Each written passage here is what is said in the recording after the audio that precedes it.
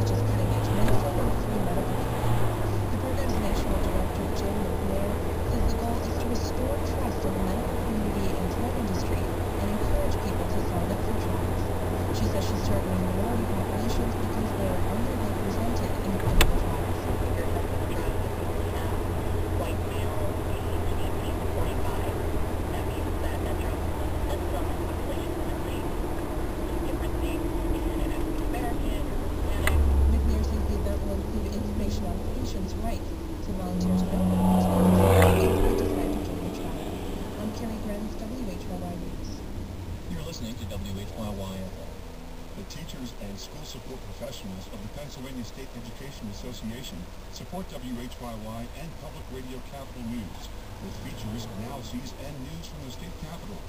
PSEA, Leadership for Public Education.